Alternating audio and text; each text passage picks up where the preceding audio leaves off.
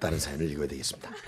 한아름 씨 조회수 29건 추천 수상권 엄마의 돌발 발언 저에게는 세련되고 고급스러운 외모에 글래머러스한 몸매를 가진 비주얼 킨 서인영을 닮은 가명 정은미 본명 정봉순 이 뭐야? 아, 본명 본명까지 얘기하셨네요. 52세의 엄마가 계세요. 어 가명을 정은미로 쓰. 어 나는 은미라고 해요. 이름은 정봉순 씨인데. 봉순. 엄마는 요즘 아이돌 가수 이름 모두 외우실 정도로 시대와 발맞춰 나가시고 유행에 민감하며 패션에도 월등한 센스를 가지셨는데 어느 날 엄마가 인터넷 서핑을 하시던 중에 저에게 지그시 물어보셨죠. 딸, 엄마가 서핑하다가 아, 궁금해서 그러는데 아, 승가가 무슨 뜻이지? 승가 뭘까? 이게 뭐니 도대체? 자꾸 그 승가란 얘기가 나오는데 아, 엄마 승가는 요즘 어린 친구들이 인터넷 쓰는 용어야. 가슴이라고 하면 좀 그러니까 거꾸로 승가라고 하는 거야. 아, 그래. 가슴을 승가라고 하는 거야? 요즘 애들이 승가? 그걸 거꾸로? 앞뒤만 바꾼 거야? 거꾸로 쓰는 거구나. 거꾸로. 아. 며칠 뒤에 엄마 저는 백화점에서 쇼핑하며 옷을 고르고 있었는데요. 엄마는 옷을 피팅해 보시고 살까 말까 고민하셨는데 그 모습을 본 저머니 친절하게 말을 건넸어요. 어머 옷이 너무너무 잘 어울리세요. 어머님이 얼굴도 예쁘시고 몸매가 완전 콜라병이세요. 아, 진짜 글래머러스 하시다. 참고로 엄마와 저 언니 모두 55 사이즈의 C컵을 자랑한답니다. 왜 이렇게 부러워해? 정말 축복 축복받은 유전자죠. 저번의 말을 듣고 계시던 엄마는 한박 웃음을 지으셨어요. 어, 뭐 아니에요. 글래머는 무슨 적당히 커야 보기 좋지. 아유, 그 적당히 커야 보기 좋고 예쁘지 뭐. 엄마는 세련되게 요즘 젊은 친구들이 쓰는 승가라는 말을 쓰고 싶었어요. 그런데 갑자기 생각이 안 나셨나 봐요. 아우 내가 글래머는 무슨 적당히 커야 보기 좋고 예쁘지. 아 저는 사실 박류가 커요.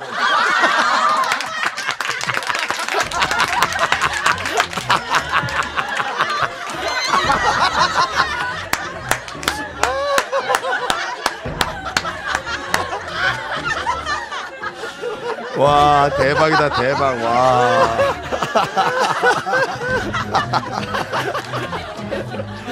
아, 와 박류가 커요. 그렇죠 예. 아 뭐라고 할 수도 없고 이거. 자 이승국 씨의 사연을 또 하나 읽어 드리겠습니다. 인터넷 서핑을 하다 웃겨서 살짝 담아왔습니다. 그렇죠 이렇게 솔직하게 얘기를 해줘야 너무 고마운 거예요. 제목은 무한 노래방. 솔직히 밝혔으니 웃기면 선물 주세요. 갑자기 마음이 돌아. 잘했네 또 이거. 또 갑자기 잘했어 이거. 갑자기 마음이 돌아서려 그러네. 좀 잘했어 이걸. 아, 웃기면 뭐 선물 드립니다. 학창 시절 학교 근처에 시간을 많이 넣어주는 노래방이 생겼다는 소문을 듣고 당시 매일 노래방에서 살다시피 하던 저는 음악을 사랑하는 친구 겸 music people들을 모아 그곳으로 향했어요. 한번 music people. 인심 좋아 보이는 노래방 사장님께서 사장님 사장님께 아, 시간 좀 많이 넣어주세요 하고 방에 들어갔는데 깜짝 놀랐습니다. 노래방 기기에 시간이 540분이 입력돼 있었어요. 뭐야? 9시간이 9시간. 6954. 그러네. 공짜라면 양재물도 원샷하는 우리는 아까워서 끝까지 부르고 가자고 다짐했지만 5시간이 지나자 몸속에 영혼이 빠져나가고 턱구역질 증세를 보이는 등 초죽음 상태에 이르고 있었어요. 날씨가 노래방 내놓으셨나 보다 그지. 어지간하면 돈 아까워서 노래방에서 음료수를 안 시키지만 계속 수분 섭씨 없이 노래 부르다간 저 세상으로 갈 것 같아서 음료수를 시켰어요. 아저씨는 음료수를 가져오시며 굉장히 하이톤이래요. 아 잘 노네. 시간 더 넣어 줄까? 다섯 시간 했는데. 너무 줄은 대로 더 있다간 목을 잃을지 잃을지도 모른다는 공포감에 6시간 30분이 넘어갈 무렵 친구들은 하나둘 먼저 자리를 떠나기 시작했어요. 몇 명이 나가자 사장님은 아이 벌써 가? 시간 안 끝났는데? 저희는 속으로 영영 안 끝내실 거잖아요 생각했습니다. 저는 무턱대고 시간 많이 넣어달라고 한 게 무한해서 가장 마지막에 나오다 빠져나오다가 우연히 카운터에 있는 아저씨 노트를 발견했습니다. 노트에는 이렇게 적혀 있었어요. 뭘까? 뭐. 1위 11시간 49분 2위 야 누구야? 2위 7시간 26분, 3위 6시간 30분. 저희는 3위였어요. 제가 나갈 때 아저씨는 나지막하게 죽어 그랬어요. 큰 성 없는 것들. 근성 없는 것들. 근데 11시간 49분을 노래 부르는 사람은 대체 뭐 하는 사람일까요? 그 노래방은 두 달 뒤에 문을 닫았습니다. 이 그분이 분명히 이걸 퍼왔다고 얘기를 했었어요. 인터넷에 떠도는 퍼온- 얘기라고. 떠도는 얘기 퍼왔다고 그렇게 솔직하게 얘기를 해 주셨는데 이 사연 원작자분이 미티라는 웹, 웹툰 작가시래요. 어 그래서 이분이 그 본인이 연재하고 있는 만화 내용이고 어, 컬투쇼 나와서 깜짝 놀랐는데 이분이 그걸 뭐 단행본으로 나중에 출간할 계획도 있는데 창작물이고 본인이 나중에 뭐 출간했는데 자기가 어디서 베껴 온 거 아니냐 이런 소리 어, 들을까봐 컬투쇼 나왔던 건데 뭐 자기 네. 것처럼 했다 뭐 이런 얘기 오해를 받을 수 네, 있으니까. 그래서 요청을 좀 해주셨대요. 네. 어, 그 무한 노래방 사연은 웹툰 작가 미티 홍승표님이 만화 내용이고 그, 그 만화 내용을 어떤 분이 퍼오셔서 저희한테 올린 거니까 혹시 나중에 이분이 단행본을 내더라도 이분 거니까 이분한테 뭐 이거 뭐 베낀 거 아니야 이딴 식으로 하지 말란 얘기예요. 그렇게 되면 우리가 컬투쇼가 누가 되니까 서로 서로 어, 따뜻한 사연 그렇게 됐으면 좋겠습니다. 그렇습니다. 자, 네네. 완전 평면이라는 제목으로 여러 가지 뭐 예상 가는 게 있죠. 여자분의 사연입니다. 뭘까요? 조회수 21건 얼굴이 납작한 거죠. 아니면 TV에 관한 얘기일 수도 있어요. 다들 머릿속 생각은 똑같습니다. 강현미 씨 여자분이세요. 저희 부모님께서는 어린 나이에 결혼하셨어요. 전라남도 순천이 고향이신 어머니는 시골에서도 육남매 중 막내로 성장하셨고 도시로 직장을 다니게 되면서 상경하신 지 얼마 되지 않아 결혼하신 상태였기 때문에 정말 아무것도 모르셨다고 해요. 문제는 이것 때문이었습니다. 아버지와 사랑으로 낳은 첫째 아들인 저희 오빠가 태어났을 때 어머니는 계속 앉아서 아이를 안고 모유를 주는 자세가 너무 힘들어서 다른 방법을 찾게 되셨대요. 이모들은 예, 아무 그렇게만 안고 있으면 팔 아프다야. 애도 재울 겸 누워서 젖을 물리면 돼. 조언을 하셨고 자세를 다르게 해봐야겠다 생각하신 어머니는 이리저리 몸을 돌려보셨지만 생각만큼 쉽지 않았다고 합니다. 이모들은 누워서도 무유를 잘 먹이지만 어머니는 소위 완전 평면이셨기 때문에 더욱 힘들었대요. 애를 가지면 다들 가슴이 커진다는데 나는 왜 이따위야? 아이 고민하던 엄마는 고민하던 엄마는 누워서도 아기한테 젖이 닿지 않자. 아니 내 자세가 뭐가 잘못된 건가? 다시 자세를 바꾸셨고 방법을 깨닫게 되셨대요. 잠시 후 엄마 집에 놀러 온 이모는 깜짝 놀랐습니다. 너 뭐하니? 어, 언니 가슴이 안 닿아서 이거 아니야? 엄마는 엄마는 엎드려 뻗쳐 자세로 아이에게 젖을 물리고 계시죠. 아 고됐겠다 아이는- 고됐겠어. 아이는 편했겠어요.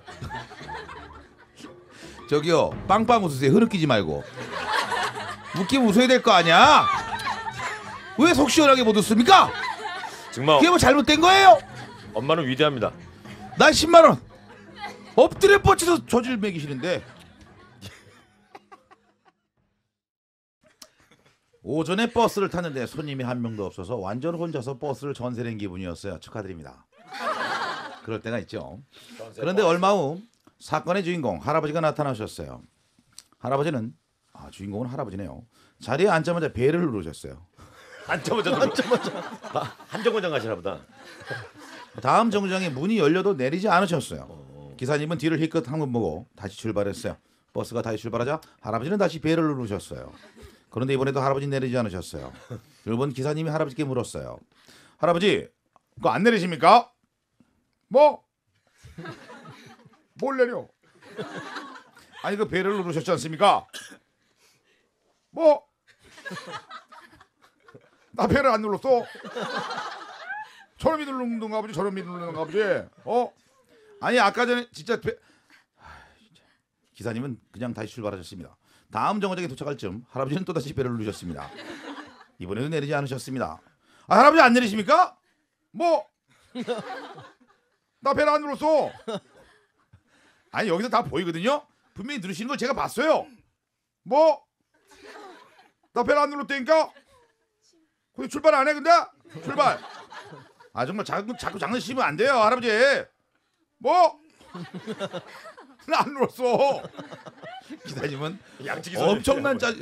야 이거 뭐야? 벨, 벨치기 소년. 세 벨치기. 페이지 세 페이지짜리. 기사님은 어, 이세 페이지 동안 계속 누르는 거야 지금? 기사님은 엄청 짜증난 채로 다시 출발했어요. 그런데 출발하자마자 할아버지는 또 배를 누르셨습니다. 그로 내리지 않으셨어요. 기사님은 짜증내며 혼자만 혼잣말을 하셨는데 입 모양을 보니 욕 같았어요. 정작에 도착했지만 기사님은 무시하고 지나쳤어요. 야왜 안 세워? 배를 누르면 세워야 될 거 아니야? 어? 왜 안 세워? 아니, 안 누르셨다면서요? 뭔 소리야? 내가 눌렀어 이번에. 내가 배를 눌렀어. 왜 안 세워? 아 진짜 할아버지는 보란 듯이 배를 또 눌렀어요. 다음 정류장에 기사님은 정차를 했어요. 근데 할아버지는 모르쇠로 창밖만 보고 계셨고 기사 기사 씨는 폭발했습니다. 할아버지 장난치지 말라니까요. 뭐 안 눌렀어. 미치겠다. 저놈이 눌렀나 아버지. 너 임마 안 내리냐 임마? 할아버지는 괜히 가만히 있는 저를 보고 걸어 넘겼어요. 버스 기사 아저씨는 정말 왜 이러십니까? 왜 이러시는 거예요? 왜나안 눌렀다니까? 아우! 그러나 분노한 기사님의 복수가 시작됐습니다. 버스를 급 출발시킨 기사님은 그대로 모든 정거장을 무시하고 다이렉트로 종점까지 밟아버렸어요. 뭐야 왜 이래? 왜 이래? 배 눌렀잖아. 세워야지 나 멀미해 여기 여기 토한다 내가. 어? 내가 배 눌렀잖아. 왜안 세워 왜안 세워 할아버지는 철저히 무시당하고 종점에 도착한 기사님은 통쾌한 표정으로 할아버지 표정을 살폈습니다. 하- 하지만 할아버지는 아무렇지도 않은 표정이었어요. 우리 집 종점이나.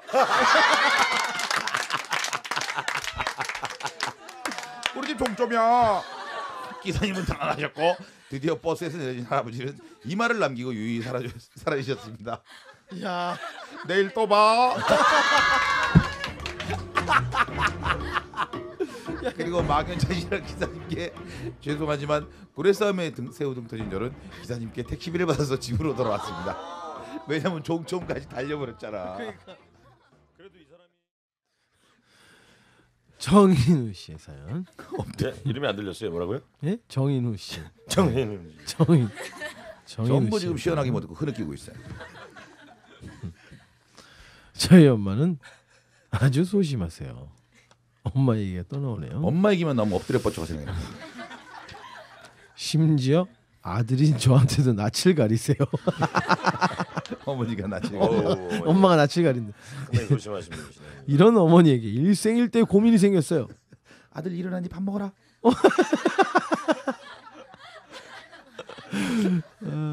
누나가 이번에 결혼을 하는데요. 매형이 집에 누나랑 찾아온다고 매형을 부르는 연습을 하시더라고요. 이서방, 그걸 연습을 해요. 이서방, 이서방. 그렇게 맨날 며칠 연습하셨어요. 엄마는 혼자 부엌에서 이서방, 이서방, 이서방 연습을 하시다가 가족끼리 식사하는 자리에서 매형을 불렀습니다. 서방님. 실수를 깨달으신 어머니는 얼굴이 벌게지셔서 안방으로 들어가 버렸고 매형이 집에 가고 난 뒤에 방에서 나오셨어요.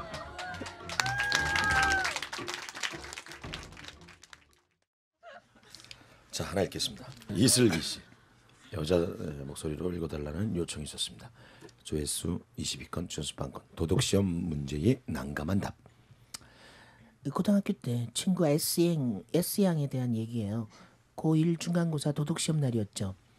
역으라 그런지 아침에 떠들면서 문제 맞춰보고 서로 질문하고 잡담하는 소리가 깨알같이 시끄러웠어요. 야 어제 공부 다 했어? 외워야 할 거 왜 이렇게 많니? 난 하다가 일찍 일어나서 하려고 잤는데 그냥 자버렸어. 아유 몰라.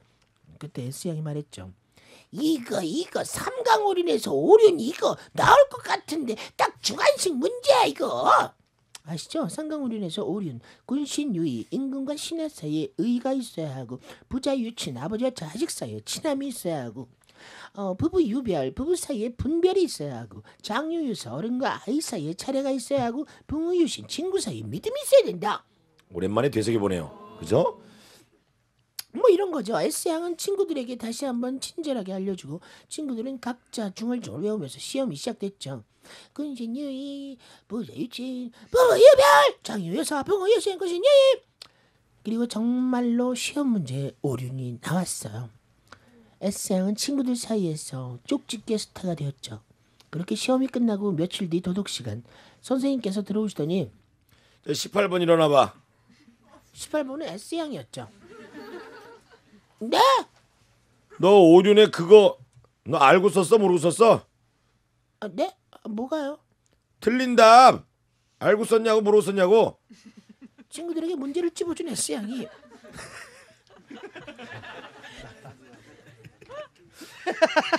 친구들에게 문제를 찝어준, 찝어준 S양이 정작 자기 답은 틀리게 쓴 거예요.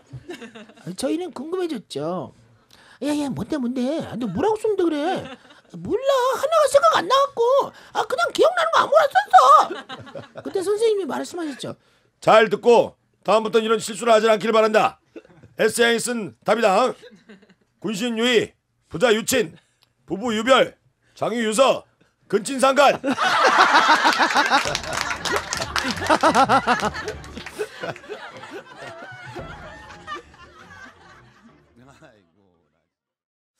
자, 어, 익명을 요구하신 사연을 읽어드리도록 하겠습니다. 어, 이건 첫 문장부터 10만 원짜리입니다. 저희 이모는 뚱뚱합니다. 10만 이모, 원이요. 이모를 고발하잖아요. 네네. 10만 원이요. 그냥 뚱뚱한 축하드립니다. 거 얘기하는 거. 아우, 나 이런 사연 너무 좋아. 원래 살집이 좀 있는 편인데 출산 후에 살이 안 빠져서 전더더 뚱뚱해졌어요. 이모의 딸 민이는 말문이 트일 때쯤부터 대체 어디서 들었는지 툭하면 엄마 배에 동생 있어요? 라는 말을 하곤 했어요. 아마도 그 정도면 당연히 동생이 있을 거라고 생각한 것 같아요. 그러던 어느 날 민이가 엄마 손을 잡고 많은 버스에 타게 됐어요. 장날이나 사람도 많았고 이모는 서서 행선지를 향해 가고 있었죠. 그런데 민이가 입을 열었어요. 민이가 웃긴다. 민이가 웃겨요. 왜요 왜요 왜요? 아저씨 엄마 배에 동생 있어요. 왜 길 가는 아저씨한테 왜 얘기를 하냐고 말을 걸어온 것도 아닌데요. 순간 많은 버스에 앉아 있던 아저씨는 얼굴이 빨개져서 당황하며 아이고 임산부셨군요. 죄송합니다. 아이고 여기 앉으세요. 여기 앉으십시오. 죄송합니다. 벌떡 자리에 일어났어요. 이모는 아니라면 손살을 쳤지만 이미 사람들의 시- 시선이 집중됐고 당황한 이모는 임산부인 척 자리에 앉았어요. 옆에 앉은 할머니가 물어보셨어요. 세댁 힘들면 말을 하지 그랬어. 서 있기도 힘든데 얼, 얼마나 7개월? 8개월? 오, 이모는 당하며. 얼버무리는데 미니가 얘기했어요. 10개월. 동생이 있는 지 10개월 됐어요. 그 말에 승객들은 당황했고 모두 이모의 안전을 걱정하며 한마디씩 거들기 시작했어요. 하지만 평소 소극적이고 집중받는 걸 싫어하는 이모는 식은땀이 줄줄 났어요. 심지어 하지도 않은 임신 얘기를 지어내려니 긴장이 극도로 심해져서 갑자기 신경 대장 신경성 대장 증후군이 발동해 참아해 참아해 참아해 이모의 표정은 사색이 됐고 식은땀이 줄줄 흘리며 정거장배를 눌렀습니다. 사람들은 또 난리가 났어요. 아이고 어떻게 만삭이라도 이 표정이 너무 안 좋네. 아 애가 나오려고 그러는 거 아니야? 그 세대 얼른 병원에 가봐요. 아이고 어떻게 저거 저거 만삭인가 보네. 아이고 저거 어떻게 앉냐? 안돼. 그때 갑자기 버스가 급정지했고 이모 몸도 덜컹했어요. 그 모습을 본 승객들은 노발대발하며 임산부가 서 있는데 급정거를 한다며 기사에게 소리를 질러댔어요. 급기야 버스 기사님은 버스를 세우고 이모에게 다가갔습니다. 제가 죄송합니다. 당장 병원으로 모셔드릴까요? 안색이 너무 안 좋으신데요. 이모는 다시 손살을 치며 다 죽어가는 목소리로 아니에요. 제발 여기 좀 내리게 해주세요. 사정하며 버스에서 내렸습니다. 급하게 미니의 손을 잡고 뛰어 마트 화장실로 달려가는데 이번엔 마트 직원이 문제였습니다. 아니 고객님 안정이 너무 안 좋으신데요? 어디 불편한 거 있으십니까?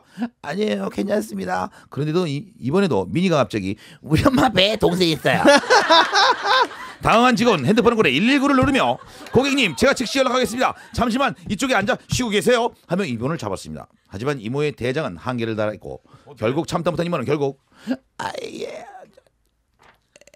똥이에요. 애 없어요. 이거 살이고 똥이에요. 나 지금 미칠 것 같으니까 나 좀 말리지 말아요. 살이고 똥이에요. 소리치며 화장실로 달려갔고 잠시 후에 쾌변을 했습니다.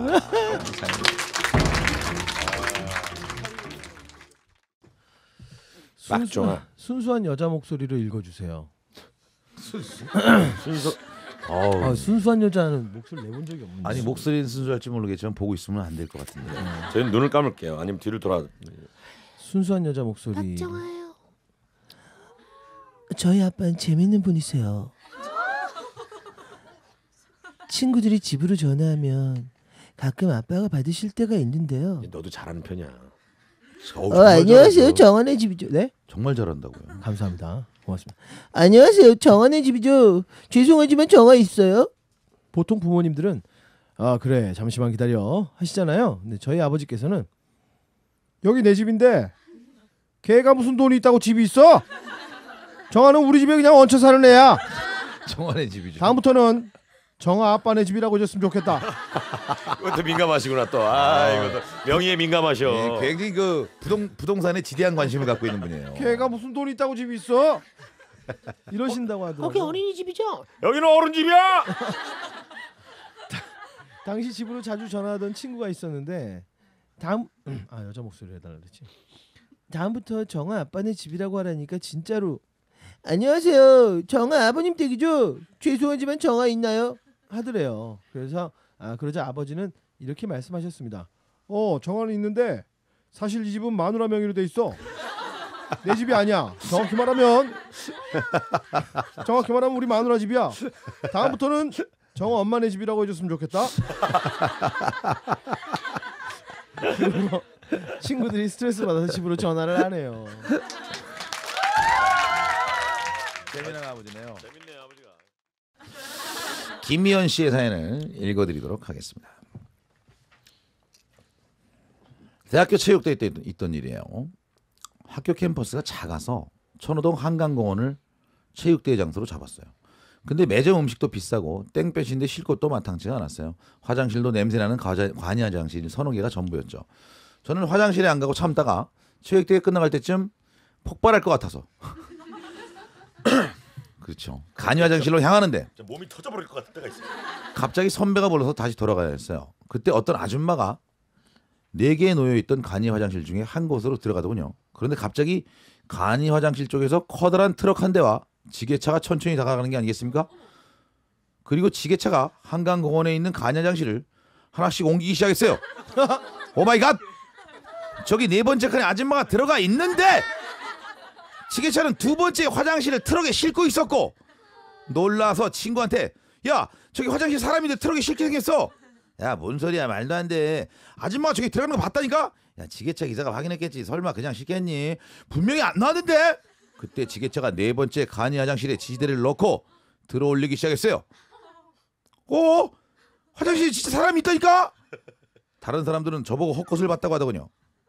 오히려 정신을 똑바로 안 차린다고 선배들한테 혼이 났어요 지게차는 네 번째 화장실을 싣기 위해 시작했고 저도 제가 헛것을 봤나 보다 하는 순간 트럭 위에 화장실 문이 열리고 아줌마가 나왔어요. 이 사람들이 미쳤어. 뭐하는 짓이야 이씨. 지진 나는 줄 알았잖아. 용변 보다가 지금. 아 그럼 안에 있다고 말을 해야죠. 뭐야 이거라 고성이 오가는 그때 트럭 위에 있던 첫 번째 간이 화장실 문이 열리더니 아저씨 미쳤어요 예? 이어서 두 번째 칸이 열리더니 큰일보다 초승 갔다 왔네 세 번째 칸에는 할아버지가 나왔어요 우와. 뭐하는 짓들이 자식아? 어? 다 있었어. 대박이다. 재미난 광경이었어요 라고 써주셨네요 와. 아 익명으로 올리신 사연인데요. 인체 실험 범인이 입을 열다. 이 이야기는 우리 엄마 여동생의 아들이 예? 우리 엄마 여동생의 아들이 이모의 아들이네요. 그죠? 이거 뭘 이렇게 해놨어? 진짜. 우리 엄마 여동생의 아들이 아르바이트를 하다 만난 아는 사람의 형님이 아, 관계가 되게 자, 복잡하네요. 이야기는 우리 엄마 여동생 아들이 아르바이트를 하다 만난 아는 사람의 형님이 몸소 겪으신 짜릿한 medical 스토리입니다. 그 형님은 냉동 탑차를 운영하시는데 운행하시는데 허리가 안 좋아서 한의원에 갔대요. 한의원에 가면 침을 놔주는데 허리에 침을 놓고 그, 그 침에 전기선을 연결해서 자극을 주는 그런 아름다운 시술을 받았다고 합니다. 이 사람이 좀 말 갖고 이렇게 이런 거는 좋아하는구나. 그날도 여느 때와 다름없이 허리에 침을 꽂고 전기선을 연결한 채 엎드려 있었는데요. 평소와 다르게 별다른 느낌이 안 오더래요. 옆에 간호사도 없고 물어볼 사람도 없길래 평소에 봐오던 기계라 아무 생각 없이 강도 높이는 스위치를 살짝 돌렸대요. 그래도 아무 느낌이 오질 않았어요. 이상하다 생각하며 강도를 최대로 높이는 순간 갑자기 옆 침대 할아버지가 아! 아! 아! 아! 간호 간호사 아 여기 아 이게 뭔가 이게 뭔가 비명을 지르고 놀란 형님은 재빨리 스위치를 원인 지키고 잠든 척을 했대요. 뭐 어떻게 해? 그럼 모른 척 해야지. 옆 침대 할아버지 것을 건드린 거죠. 간호사들이 뛰었습니다. 어, 할아버지 왜 그러세요? 무슨 일이세요? 어디 안 좋으세요? 신경이 살아났다. 야 죽었던 내 신경이 살아났어. 할아버지는 꾸준한 시술로 신경세포가 살아나기 시작했다며 한의원 원장님을 허준이라고 치켜 세웠어요. 기적이 일어났다. 신경이 살아났다. 하지만 다음날도 그 다음날도 신경은 다시 살아나지 않았어요. 할아버지는 매일 한의원에 찾아가, 찾아와서 화를 내셨어요.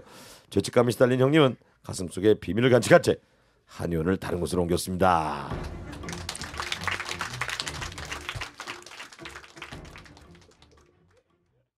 음, 최유정 씨의 사연을 읽어드리겠습니다. 며칠 전에 형부랑 언니랑 술을 마시러 왔어요. 축하드립니다. 옆 테이블엔 연세가 지긋하신 어르신 두 분이 술을 드시고 계셨어요. 근데 소시적이 좀 놓으셨는지 노인인데 근육도 있고 이런 분들이 있어요. 얼굴은 완전 나이 들었는데 뭐 식스팩 있는 분들 있잖아요. 헬스장 가면 그런 분 있잖아요. 그러면 어, 어, 막 잔근육 막 있고 얼굴, 어. 얼굴 할아버지인데. 잔근육, 잔근육. 그럼 자 문제는 두 분이 취해서 큰 소리로 욕을 하면서 술집에서 진상을 부리고 있었어요. 형부는 욱해서 한마디 하셨습니다. 저기 어르신들 그 술 많이 취하신 것 같은데 그만들 하고 하시고 들어가시죠. 너 뭐야 인마 팽오포처럼 생긴 자식아 이거 뭔데 상관이야 인마 야 팽오포 같은 놈아 이만하게. 아니 그냥 여- 옆에서 술 먹던 사람이에요. 여기 어르신들만 계시는 게 아니지 않습니까? 그래서 어쩌라고 임마 이 팽오포야. 내가 왕리 좀 돌았거든. 이름만 되면 다 아는 사람이야 임마 내가. 너 어디 사람이야? 어? 어디 사람이야? 어디 사람? 아, 전 김포 사람인데요. 김포 사람. 나는 영등포 사람이야 임마. 여기로 몇 년째 몇 년 전에 이사 왔거든. 그래도 영등포에도 내 이름 되면 다 알아. 이거 왜 이래? 아, 김포 사람 아니면 말을 마시고요. 그냥 들어가세요. 아나 이거 좀 팽오포 이거. 여기서 누가 제일 잘 나가? 이 동네에서 누가 제일 잘 나가냐고? 어? 뭐야 이분? 그때부터 이 동네에서 잘 나가는 일명 주목들을 대라면서 난리를 피우는 거예요. 한참을 그렇게 신랑이라고 있는데 다른 테이블에서 자고 있던 취객이 갑자기 내가 제일 잘 나가. 옆 테이블에서 하더군요. 그만에 큰 소리 치던 어르신 어르신은 취객을 깨우더니 뭐 그게 누구야? 어디 애들이야? 퇴니원 그게 누구야? 아무, 래도 연세가 있어서 잘 모르시는 것 같았어요. 취객은 아, 지금 투애연님 모르세요? 걔네가 제일 잘 나가요. 그래? 걔네가 그렇게 잘 나가? 어디 애들인데 데리고 와봐. 데리고 와봐. 걔는 완전 잘 나가는데. 걔네 모르는 사람 없을 텐데. 경찰들도 다 알아요. 웃기지 마. 와봐. 못 믿겠어. 그러자 취객이 곧방귀를 끼더니 정말 112에 전화를 하는 거예요. 거기 경찰서죠? 아저씨 투애니원 알아요 몰라요? 알죠? 걔네가 제일 잘 나가. 주위 사람들 모두 웃겨 죽겠는데 분위기상 웃지를 못하고 다들 심각한 표정을 지었어요. 그리고 두 어르신들은 어느샌가 소리 없이 사라졌어요. 역시 투애니원 당신들이 제일 잘 나가요.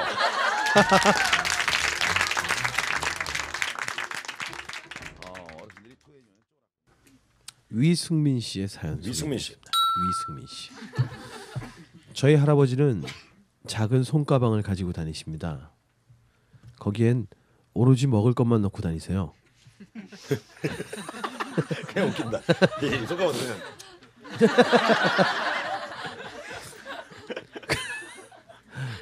그날 그날은 노인정에서 받은 백설기를 가방에 넣어두셨는데 아 뜯어 먹어야 되는 거. 아, 그거 뜯어 먹어야 되는데.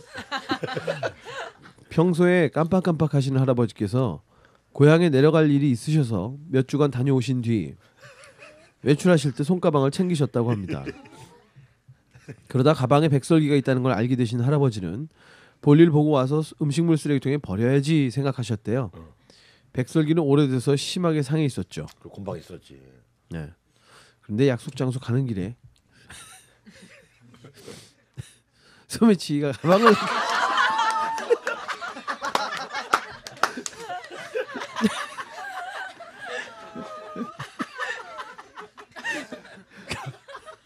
소매치기가 가방 가방을 낚아채 간 거예요. 가방에는 상한 백설기밖에 없는데요. 할아버지는 소매치기한테 이놈아 먹으면 죽는다.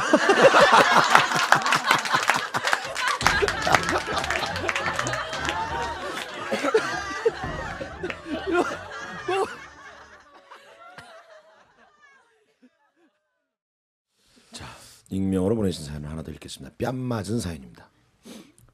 제 친구는 학교에서 나무늘보로 통합니다. 얼굴 때문일까요? 글쎄요. 아니면 뭐 잠을 많이 자고 계속 붙은 그냥 어 잠을 많이 느릿느릿하게 다니는 친구. 저런 친구 주위에 꼭 개미알기가 있습니다. 아, 맞아요. 생김새도 하는 행동도 완전 나무늘보죠. 친구 목소리를 아주 게으른 톤으로 읽어주세요. 아, 게으른가 보다. 이 친구는 아 친구 목소리는 네. 이 친구는 누워 있는 걸 엄청 좋아합니다. 그래서 모든 수... 여자네요 여자. 아, 그래요? 어, 일단 뭐 네. 이 친구는 모든 수업 시간에 잠을 자요.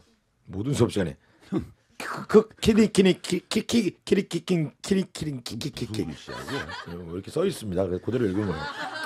그런데 오늘은 보니까 친구 뺨에 뺨에 멍이 들어 있는 거예요. 그래서 물었죠. 야 무슨 일이야? 친구는 볼을 어루만지며 자초지종을 말해줬습니다. 어제 침대에 누워서 책을 읽다가 씻고 자려고 침대에 누워서 양치를 했어. 근데 방이 너무 따뜻한 거야. 이를 닦다가 그대로 잠이 든 거지. 아우 답답해. 아 근데 아 근데 뺨이 왜 그래? 엄마가 나를 불렀는데 아무리 불러도 대답을 안 하더래. 그래서 방에 들어왔는데 내가 침대에서 개거품을 물고 쓰...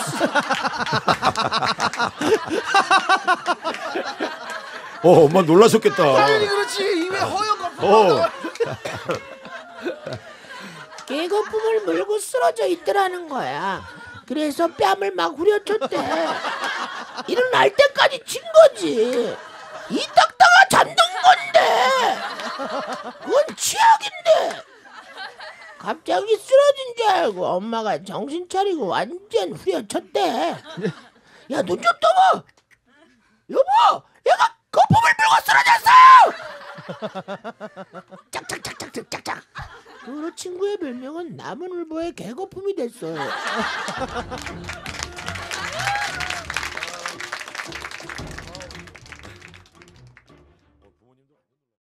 아 박병원 씨의 이야기를 bless you. 친구 중에 호연이라는 아이가 있습니다. 그 친구의 이름은 호- 어, 호연직이라는 사자성어에서 따온 이름으로 중국의 사상가 맹자가 말한 인격의 이상적 기상이라는 좋은 뜻입니다. 아무튼 호연이에게 동생이 생겼어요. 부모님께 늦둥이를 그래서 늦둥이를 만드신 거였죠. 이름을 무엇으로 할까 고민하던 중 호연이의 할아버지께서 주장하셨어요. 둘째 이름은 무조건 첫째 이름과 연관을 시켜야 돼. 둘이 이어지는 게 좋은 거야. 그러시면서 새로운 태어난 이름을 지기로 하자고 하셨습니다. 호연이, 지기, 호연지기. 그게 뭐 웃기겠죠. 가족들은 어, 심한 반대에도 불구하고 호연이 동생 이름은 지기가 되었습니다. 그런데 가족들은 그토록 반대하는 이유는 호연이 집이 조씨였기 때문에 조지기.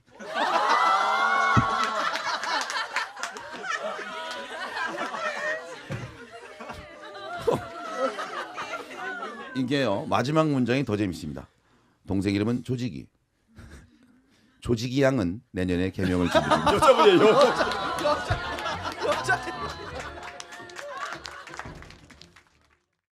안지원 씨의 사연이에요. 유치원 아이들의 동심을 먹고 사는 선생님이에요. 하루는 어린이 뮤지컬 개미와 배짱이를 보기 위해 여러 유, 유치원 아이들이 한 자리에 모였어요. 저도 아이들과 함께 동심으로 돌아가 공연에 점점 빠져들었죠. 개미와 배짱이의 클라이막스인 추운 겨울이 되었어요. 개미는 겨울이 되기 전 부지런히 일해서 모아두었던 양식을 보며 흐뭇해했지만 띵까띵까 놀기만 했던 배짱이는 추위와 추위와 배고픔에 슬퍼했습니다. 배짱이가 울먹거리자 순수한 아이들은 배짱이가 불쌍했는지 안타까운 눈으로 바라봤어요. 배짱이는 그동안 자신의 게으른 행동을 반성하며 추위와 배고픔을 호소하고 있었죠. 그런데 그때 저희 유치원 영준이가 배짱이에게 큰 소리로 하는 말. 배짱아, 개미 잡아먹어. 개미, 잡- 개미 잡아먹어. 이런 게 동심인가 봅니다.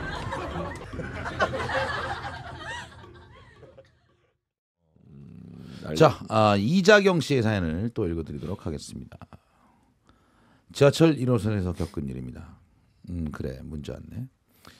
서울에서 인천으로 퇴근을 하는데 어떤 아저씨가 만취를 하셨는지 의자에 엉덩이를 반만 걸친 채 금방이라도 앞으로 고꾸라질 것처럼 거의 반으로 접혀져 있어서 앞뒤로 흔들고 있더군요. 반만 걸치고요. 아유 저러다 앞으로 넘어지겠다. 속으로 생각하다가 피곤해서 팔짱을 끼고 눈을 감았어요. 그런데 쿵 소리를 놀라서 눈을 떴어요. 아까 그 위태롭던 아저씨가 앞으로 넘어진 거예요. 모두 몰란 놀란 눈으로 아저씨 쳐다봤죠. 아저씨는 꿈쩍도 않고 그대로 누워 계셨고 정말 뭔 일이 난 것처럼 정적이 흘렀어요.